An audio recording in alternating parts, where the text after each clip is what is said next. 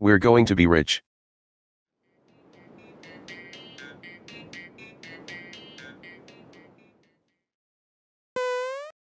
Billion dollar business idea, gluten-free organic salt and pepper. Ha, I guess there are people dumb enough to buy it.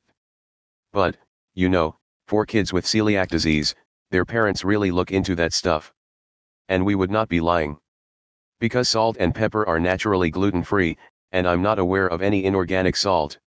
Yup, just sell it as premium. We're going to be rich.